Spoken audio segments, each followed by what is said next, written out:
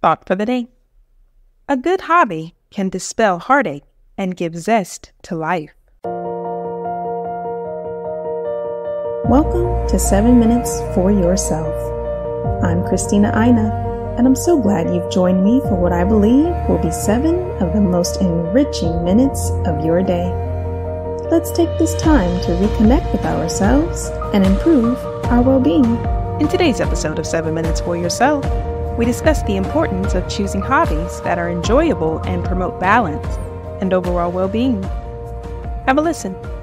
A little while ago, I came across this idea of separating hobbies into different categories, and this way of thinking about it has really helped me to conceptualize and evaluate the hobbies that I do have in my life. So, in this video, I'm going to talk about five different types of hobbies that I believe are really important to help us enrich our lives, and I'll also be sharing some of the ways that I've personally tried to implement these in my own life. This was partly inspired by the quote, Find three hobbies that you love one to make you money, one to keep you in shape, and one to be creative. And I've added two more categories that I personally believe are really important.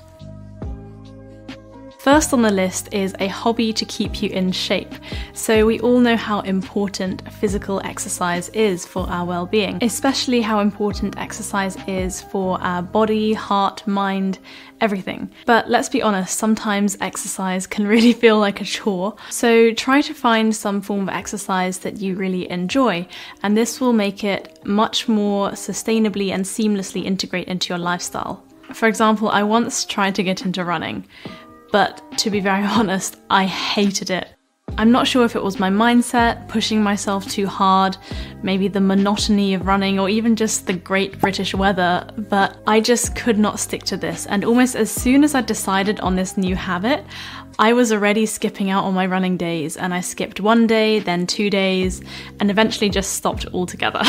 if you're a bit like me, sometimes all of the planning and trying to choose the best kind of exercise for XYZ outcome can actually be counterproductive because at the end of the day, what's most important is actually doing some form of exercise rather than trying to force yourself to do the perfect exercise. So, really try to find something that you genuinely enjoy and hopefully can sustainably do most days of the week.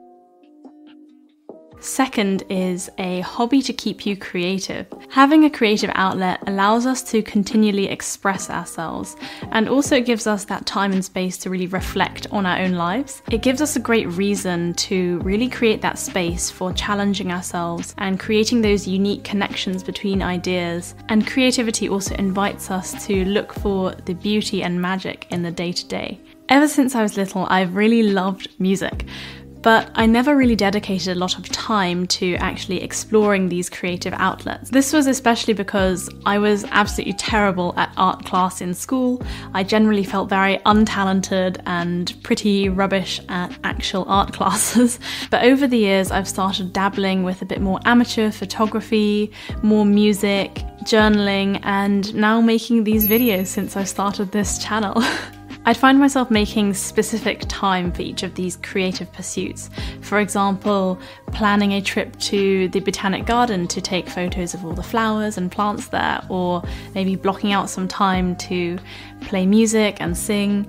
I've really found that just simply making the space to be creative and that process of creation is actually really worthwhile in its own right just for ourselves. And I feel like it's something that has actually helped me to understand myself better. Thirdly, a hobby to make you money. Find a job that you love and you'll never work a day in your life. This quote is getting at the fact that if our work feels like play, then it doesn't really count as work anymore. If you enjoy at least one of the ways that you make money, whether that's your day job or your side hustle or something else entirely, then it will likely feel less like work and more like play, which means that you'll naturally just love doing it more and you're more likely to be naturally good at it simply because you really enjoy it. As a medical student, I love being in the clinical environment, interacting and talking with colleagues and patients, and I really hope that this enjoyment will transfer over to the actual job when I start working as a junior doctor in just under a year's time. For me, over the years, I've also dabbled in various ways of making money on the side, from pool lifeguarding and working as head bar person at my college bar to tutoring science and maths and even teaching English as a foreign language, I've kind of done a few different jobs, and I can tell you with 100% confidence that the ones that I enjoyed the most were the ones that I really got the most out of and like really stuck with. Now for number four, which is my own addition, and I think that having a hobby to grow your mind is so important. I personally love learning new things or like new perspectives all the time, and having a hobby that encourages us to keep on learning and keep evolving our mindset means that we can always find something new from life and keep leveling up towards becoming the version of ourselves that we really want to be. And finally, number five is a hobby to stay connected. And this is something that has been so, so important over the last year because in today's world, it's so easy to feel disconnected. And especially since the COVID pandemic started and we've been through more than a year's worth of lockdowns, I think it's so crucial to have some way to stay connected with the people around you. Having a hobby that allows you to stay connected with or serve others is so important for our psychological well-being and happiness and also our sense of belonging and fulfillment. This can be via joining clubs or societies, volunteering, perhaps having a weekly scheduled activity with friends, or even just having a habit of regularly connecting with other people, for example with weekly check-ins. That concludes today's episode of 7 Minutes for Yourself.